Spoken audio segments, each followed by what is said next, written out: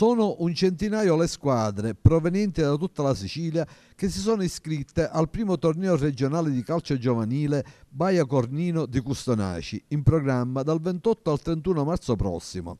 Cinque le categorie, dai pulcini ai primi calci ai piccoli amici. Tra le società iscritte figura anche il Trapani. Hanno lavorato e continuano a farlo per il successo del torneo Giovanni Oddo, responsabile della scuola calcio, e lo staff tecnico composto da Rosario Solina, Baldo Coppola, Michele Ganci e da Maurizio Grosso. Maurizio Grosso, alcamese, ha esperienza come allenatore di squadra giovanile e con professionalità cura i giovani che aspirano a diventare calciatori. E proprio ieri la squadra allievi 2001-2002, allenata da Maurizio Grosso, con una giornata d'anticipo ha vinto il torneo provinciale, battendo per 6-0 l'Aurora Mazzara.